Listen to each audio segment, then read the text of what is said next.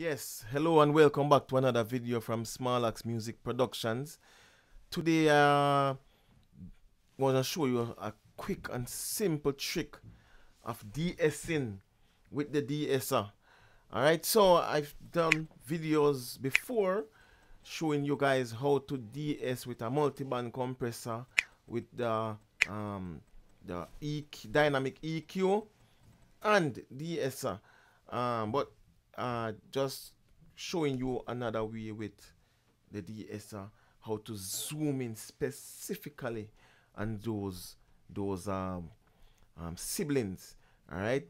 Or whatever you're trying to de-ess all right so I have my vocals here um, and I have my effect rack here with my um, different processors. So here's my here's my de-esser all right so we have this um this um phrase um here um singing. Gather yourselves, gather yourselves. all right as you can hear you have uh some this big um sibilant here and that's really a problem all right so in order to get this um, to zoom in on the the whole um, problematic area. I, I have Ozone Ozone here. Right, this Ozone analyzer here, and um, I'm gonna just play and see where that that spike with the uh, the, the sibilants is coming out. And right away, you can see the area where, where that's bugging. So it's basically um, about from 5k the build up starts around 5k as you can see on the analyzer. And it goes up to about um, 10 but really the height of things is basically um, here in in this area. So what I would do now is go go back to my de-esser. Um, sorry. Go back to my de-esser and um, let's put it in and I would just hit that spot and listen when I play with the, the, the, the threshold what, what's happening. Right? I can take it all the way off and it's very prominent. See it's very deafening irritating the ear. Alright? Alright? So watch when I um I already put the frequency. Sorry I think I jumped the gun just now. I already set this frequency at six. All right, all right. So it's around um in the in the the the, the um six area there. All right. So I have 62, 64. All right. So 6.2 really. All right. So um I would just start to pull the the the, the this down threshold. Okay you can hear it it it, it dampens the the, the, the, the sibilant there. The, so it's not so prominent and you can see how much attenuation is taking place and the the, the, the, the, the frequency. All right as you can see the red it's coming down there. It's um the minus right 18 all right minus 18 really going down there. All right so um, there we get the the the the, the um, frequency um, of that particular um, area controlled.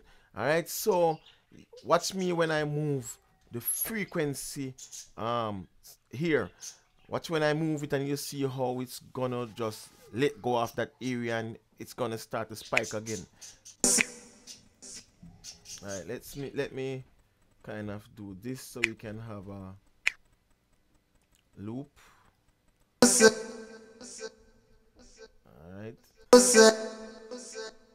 Think we have to do a bar, at least a bar, for this to cycle. So let's go here.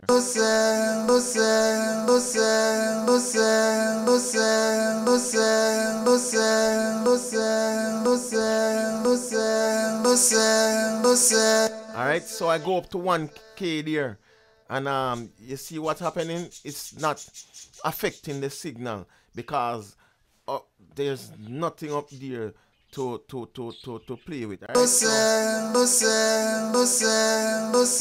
right?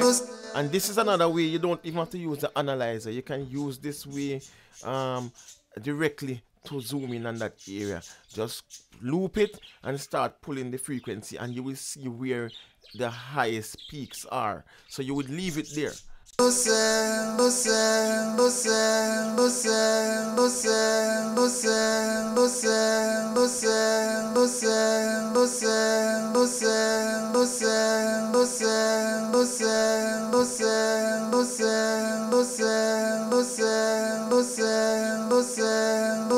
Alright, and we even go down to 4K and we are still getting more of that signal.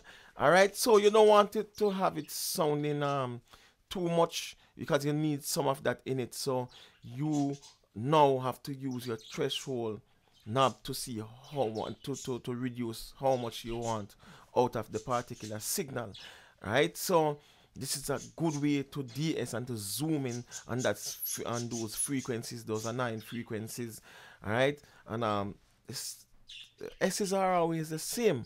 It's always the same and the, the one particular vocalist unless it's another vocalist it's always the same so you can always just set it there and let it run through the track as it plays all right and um and um you'll get those frequencies out because the s is it's not something that really sh shift all right so on a particular vocalist, you'll find them somewhere on on, on, on that um, spectrum. Alright, so you don't have to worry about it. If so be the case, then you have to automate the plugin so you can specifically um, catch those frequencies in other parts of the song. If I don't think that's possible anyway, but if that's the case, that's what you have to do.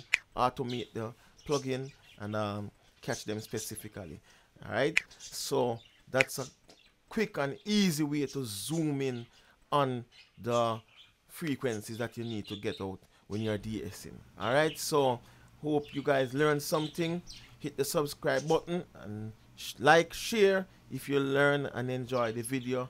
Alright, enough respect, bless up, I'm out of here again. Boom.